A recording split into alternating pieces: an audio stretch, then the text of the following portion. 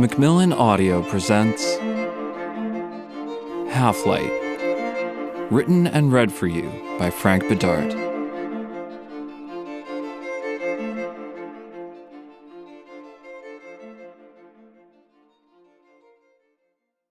Ellen West mixes verse and prose. The verse is spoken by Ellen, the prose by her doctor for the main part. Ellen West. I love sweets. Heaven would be dying on a bed of vanilla ice cream. But my true self is thin, all profile and effortless gestures, the sort of blonde, elegant girl whose body is the image of her soul. My doctors tell me I must give up this ideal, but I will not. Cannot. Only to my husband, I'm not simply a case, but he's a fool. He married meat and thought it was a wife. Why am I a girl? I ask my doctors, and they tell me they don't know, it is just given. But it has such implications. And sometimes I even feel like a girl. Now, at the beginning of Ellen's 32nd year, her physical condition has deteriorated still further. Her use of laxatives increases beyond measure. Every evening, she takes 60 to 70 tablets of a laxative, with the result that she suffers tortured vomiting at night and violent diarrhea by day, often accompanied by weakness of the heart. She is thinned down to a skeleton and weighs only 92 pounds. About five years ago, I was in a restaurant eating alone with a book. I was not married and often did that. I turned down dinner invitations so I could eat alone. I'd allow myself two pieces of bread with butter at the beginning and three scoops of vanilla ice cream at the end sitting there alone with a book, both in the book and out of it, waited on, idly watching people. When an attractive young man and woman, both elegantly dressed, sat next to me.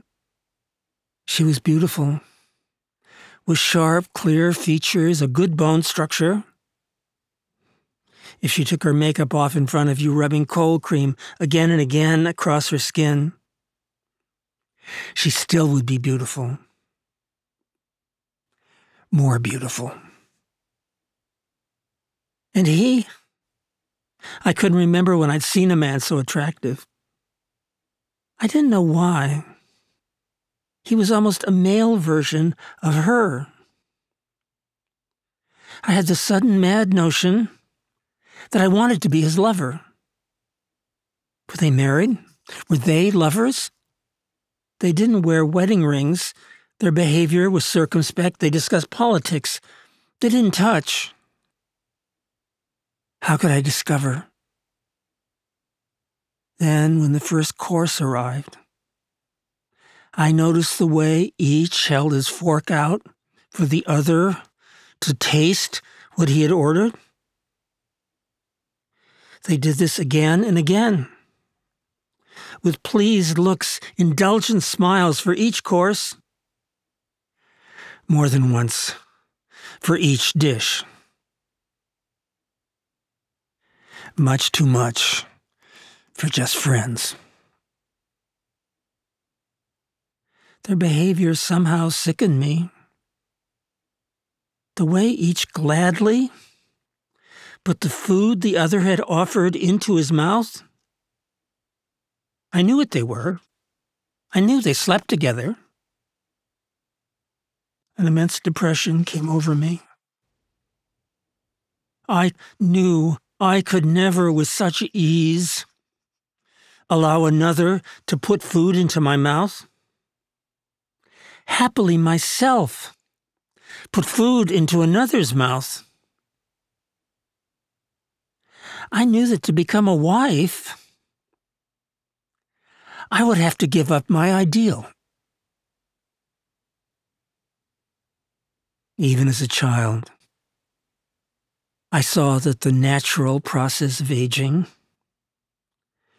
is for one's middle to thicken, one's skin to blotch,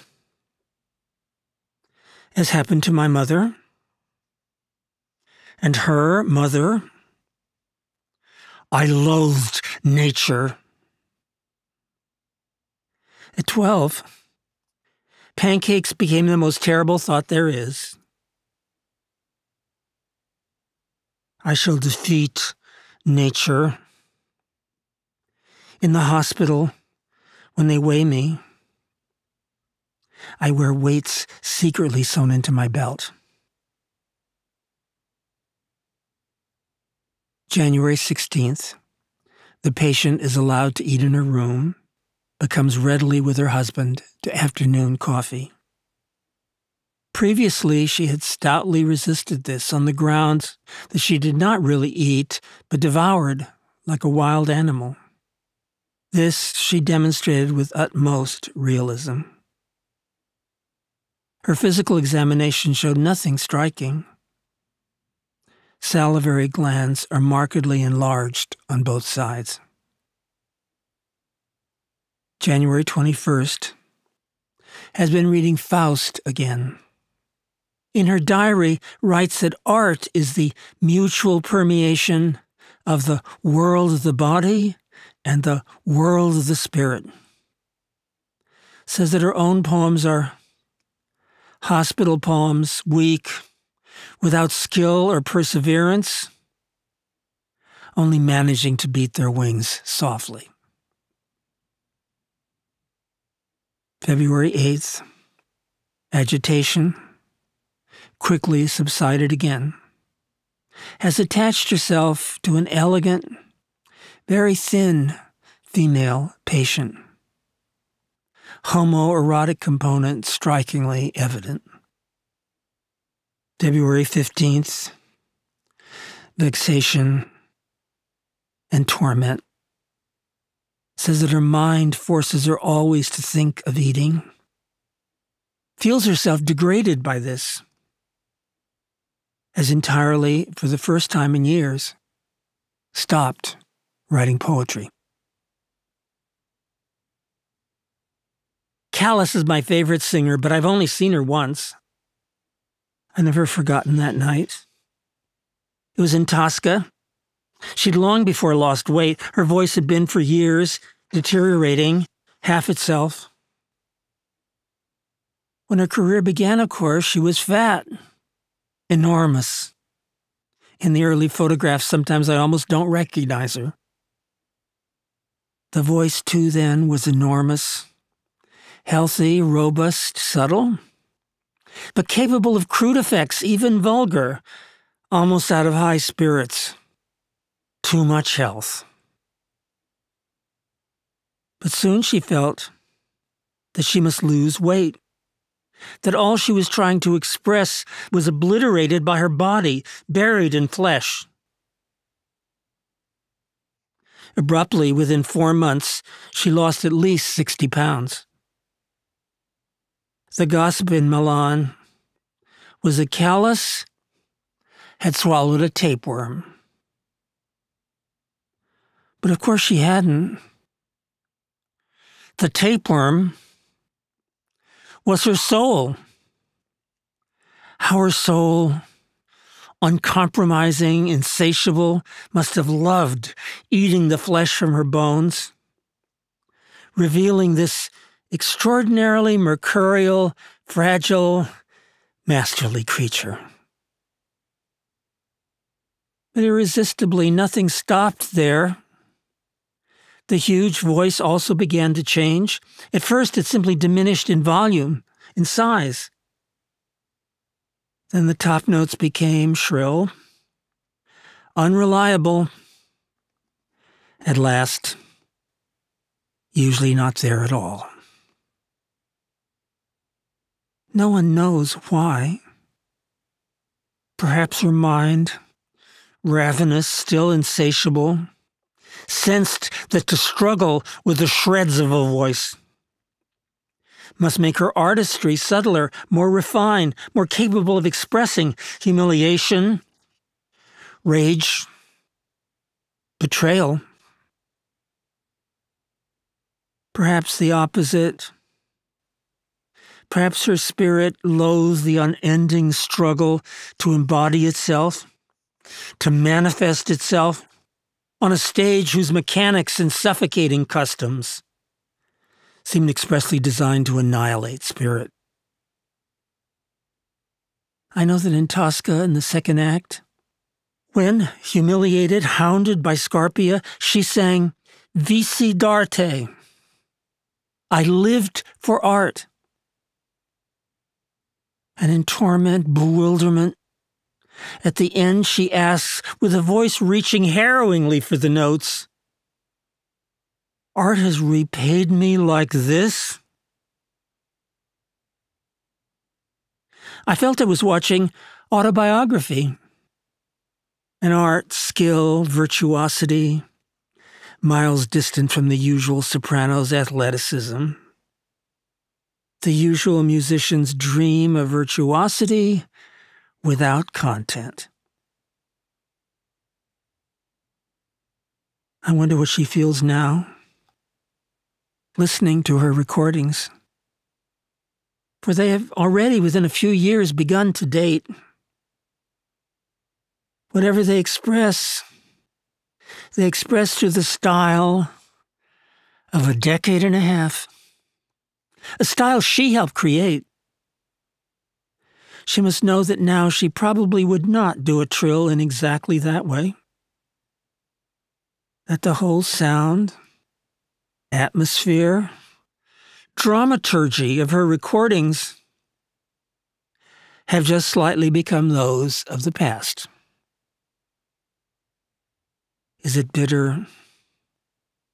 Does her soul tell her that she was an idiot, ever to think anything material, holy, could satisfy? Perhaps it says, the only way to escape the history of styles is not to have a body. When I open my eyes in the morning, my great mystery stands before me.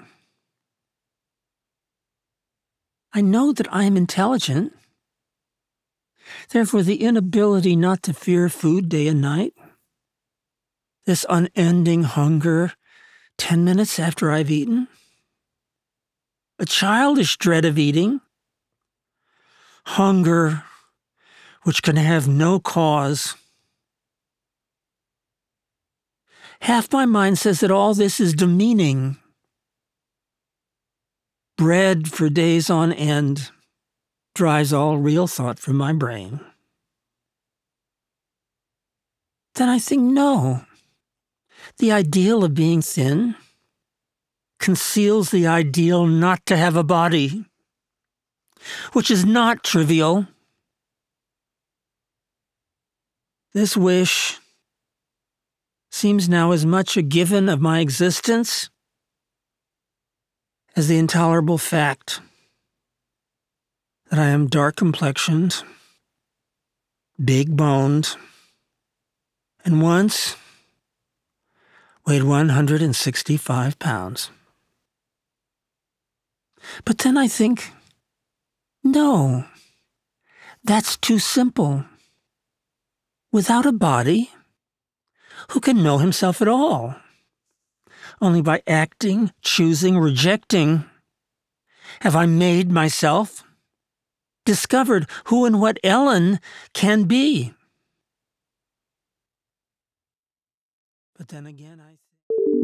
We hope you enjoyed this preview. To continue listening to this audiobook on Google Play Books, use the link in the video description.